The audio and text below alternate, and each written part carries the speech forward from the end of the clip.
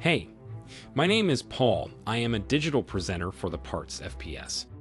Today, I'm going to talk about gas valve for Pitco part hashtag 60,125,201C.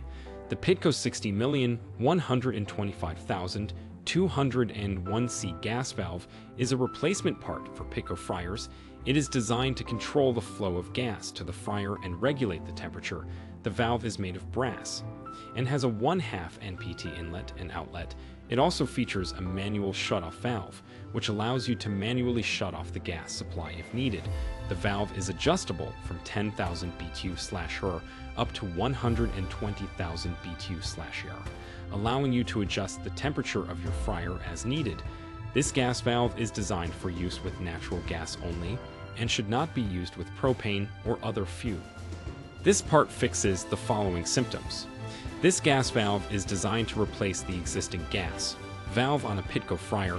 It can help to fix issues such as poor burner performance, inconsistent flame size, and excessive noise from the fryer. Here is how you install this part. 1. Shut off the gas supply to the fryer. 2. Remove the existing gas valve by unscrewing it from the gas line. 3.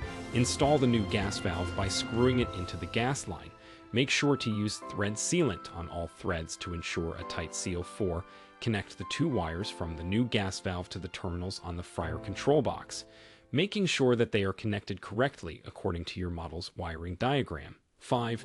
Turn on the gas supply and check for any leaks using a soapy water solution or leak detector spray. If there are any leaks, tight.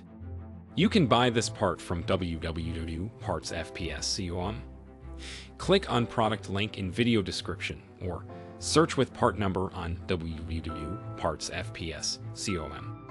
Visit www.partsfps.com to order commercial kitchen equipment parts.